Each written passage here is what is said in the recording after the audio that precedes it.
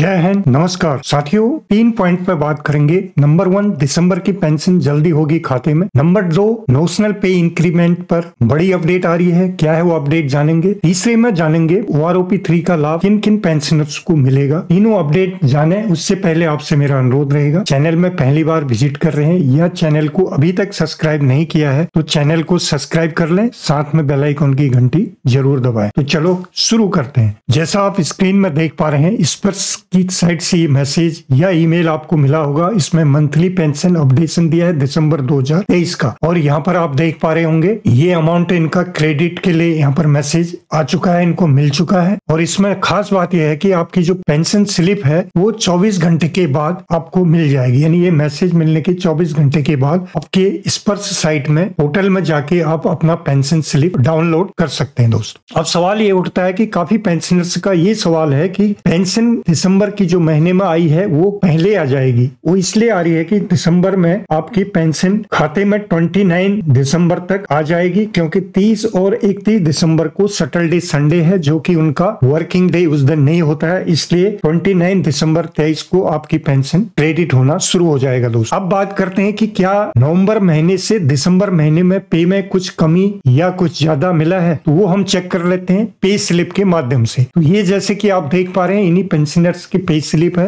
नवंबर महीने की है। यहाँ पर इनका अमाउंट आप देख पा रहे होंगे। ये amount forty seven thousand six hundred seventeen इनको क्रेडिट हुआ था। जो अब पे स्लिप इनकी डाउनलोड हुई है, उसके आधार पर forty seven thousand six hundred one seven इनको मिला है। अर्थात कोई भी पेंशन में बदलाव नहीं है। न घटी है, न बढ़ी है। कई पेंशनर्स की शंका है कि घट के आ रही है। तो वह हो सकता है कि उनका इनकम टैक्स के दायरे में जो आते हैं तो उसमें कुछ कटौती उनको देखने को मिल सकती है दोस्त। अदरवाइज़ पेंशन जैसे नवंबर में आई थी, जितना अमाउंट वही अमाउंट आपको दिसंबर में देखने को मिलेगा दोस्त। अब चलते हैं अगली अपडेट की तरफ़। सेकेंड अपडेट में ओ आर थ्री किसको और कब मिलेगा? यह एक बहुत बड़ा सवाल है। जैसे की आप स्क्रीन में देख पा रहे हैं, एक मेरे व्यूअर ने भी ये सवाल पूछा है। इन्होंने पूछा कि, सर ओ आर वन और ओ आर टू मिल गया है? वो और बताएँ कि O R O P three कब तक मिलेगा। सभी के लिए ये हो जाएगा पॉइंट ओ आर थ्री जैसे कि हमें पता है, एक जुलाई 2024 को ड्यू होगा। यानी कि एक जुलाई 2024 को आपका ओ आर थ्री पर कार्रवाई यानी प्रोसेसिंग शुरू हो जाना चाहिए। अब O R O P three मिले, उससे पहले आपका यह जानना बहुत ज़रूरी है कि ओ आर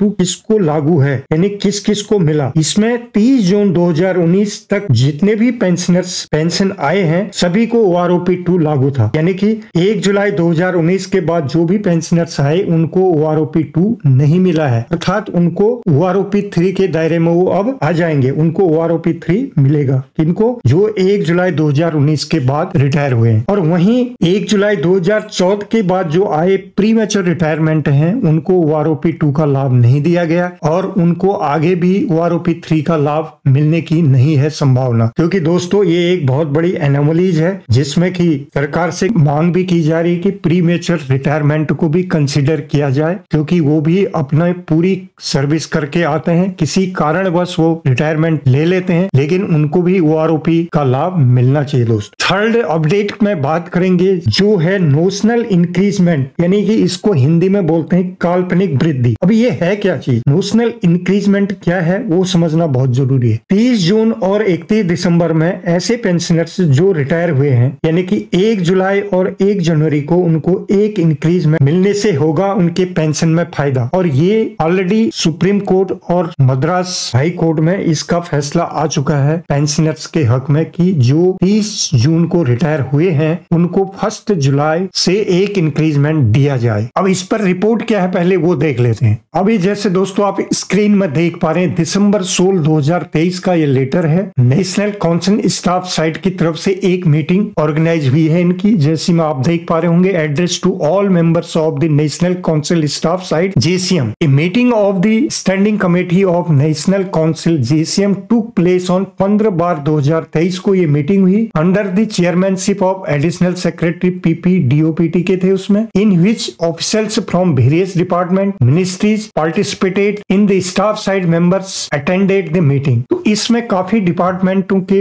मेंबरों ने इसको मीटिंग में अटेंड किया। तो इसमें काफ़ी डिस्कस हुई जो कि सेंट्रल गवर्नमेंट एम्प्लॉय या defence employee pension related issue थे, उस पर डिस्कशन हुए, जो आप यहाँ पर देख पा रहे हैं। सीरियल नंबर वन से डिस्कस हुआ है इसमें, पूरे पॉइंट आप देखेंगे। दस पॉइंट पर इनमें डिस्कस हुआ और उनका डिसीज़न इन्होंने बताया। तो इसमें काफ़ी कुछ पॉइंट है, ये लेटर आपको मिल सकता है। आप इसमें ज़्यादा इसमें डीपली जानना चाहें तो इस लेटर को आप ले सकते हैं। लेकिन जो इसमें हमारे लिए इंपोर्टेंट है, वो है नोशनल इंक्रीजमेंट पर क्या डिसीज़न हुआ। पैरा ग्यारह आप देखें, यहाँ पर लिखा है grant of one national increment for those who retire on superannuation on thirteen June इसका डिसीज़न क्या रहा है? वो इन्होंने बताया। Staff side posted against the under delay in deciding the issue despite many judgments by the supreme court and we demanded that the government order should be issued additional secretary started that the issue is an advance stage of consideration and the DOPT would take decision in this regard very soon यानी कि इस पर जो काम चल रहा है, ये कंसिडरेशन में है, जिस पर डीओपीटी कुछ ही दिनों में इसमें डिसीज़न लेके आपको बताने वाली है दोस्तों। ये मीटिंग के अंदर अभी अभी तय हुआ, जो ऑर्डर हुआ था इसमें, अब यहाँ आप स्क्रीन में देख पा रहे हैं दोस्तों, ये armed forces tribunal regional bench Lucknow का 11 अक्टूबर 2023 का ये रिसेंट आदेश है, जो कि नोशनल पे पर केस डाला था इन्होंने, जो आप यहाँ पर देख पा रहे हैं। इनके द्वारा ये डाला गया था। और honourable mister justice Anil Kumar member J, और honourable major general Sanjay Singh, member A ये इसमें शामिल थे। इन्होंने अपना जजमेंट में क्या बताया, वो समझना बहुत ज़रूरी है। यहाँ पर ये बताया गया है कि applicant shall be given one notional increment for the period from first July 2020 to 30 June 2021 as he has completed one full year of the service through his increment fell on first July 2021 for the purpose of pensionary benefits and not for any other purpose the respondent are directed to issue fresh corrigendum PPO in respect of applicant. Accordingly, the respondent are further directed to give effect to this order within a period of 4 months from the date of receipt of a certified copy of this order. Default will invite interest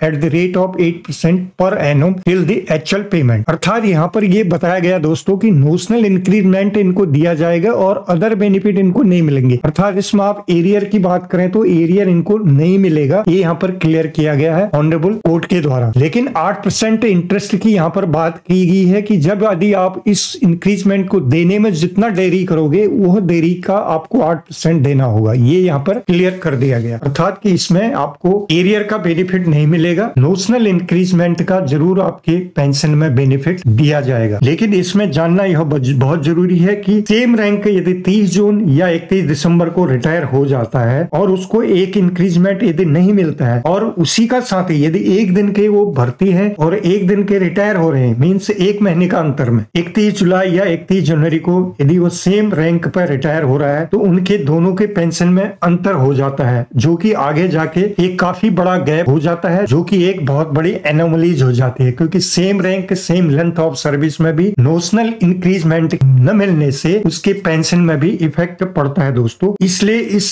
notional increment का मिलना बहुत ज़रूरी है। ऐसे pensioners जो 30 जून या 31 दिसंबर को retire हुए हैं, उनकी पेंशन में इसका इजाफा काफ़ी होगा, यानी हज़ारों में हो सकता है उनके रैंक के हिसाब से। तो ये थी एक जानकारी। आपको जानकारी ठीक लगी तो वीडियो को लाइक शेयर ज़रूर करें। फिर मिलते हैं किसी अन्य अपडेट के साथ। तब तक के लिए जय हिंद, जय भारत।